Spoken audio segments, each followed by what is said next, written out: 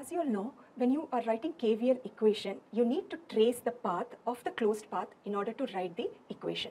So in this case, let us say this is one path, since this is one mesh, so let us mark in the clockwise direction, say we are going to trace the path in this direction. Okay. Similarly, while writing the KVL for the second mesh, again we are going to move in the clockwise direction. So let us mark this in the clockwise direction. So if you see the orange mark represents the KVL path that we are going to traverse while writing the KVL equation and the green here arrows indicate the path that we are going to travel while writing the equation for the second mesh.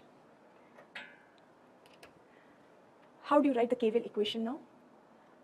Since in this case, the direction in which we are moving this through this voltage source is from negative to positive. That means there is a voltage rise. And whenever there is a voltage rise, you can assume the voltage drop to be positive. So here, since uh, we are moving from negative to positive, this we can write it as plus 5. Come to the next element. Now here, if you see, the current when it reaches here through this 3 ohm resistance,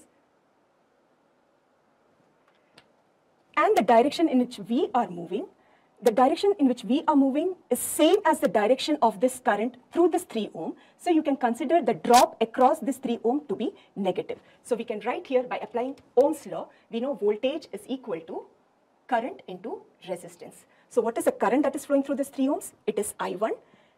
And since the direction in which we are moving is similar to the direction of the current, we are going to write it as minus 3 into I1. Now let us come to the third element that is present in mesh 1. If you see this 2 ohm resistor, it is common to mesh 1 as well as mesh 2, as a result of which there are two currents flowing through this 2 ohm resistance. I1 is flowing in the downward direction and I2 is flowing through the upward direction. So how do we write the voltage drop across this 2 ohms by following the Kirchhoff's voltage law?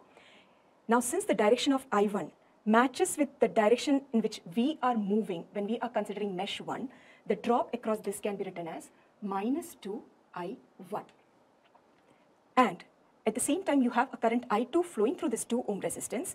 And since the direction in which we are moving through 2 ohm resistance is opposite to the direction of this current, so the drop across this 2 ohms because of this current I2 can be considered to be plus 2 I2.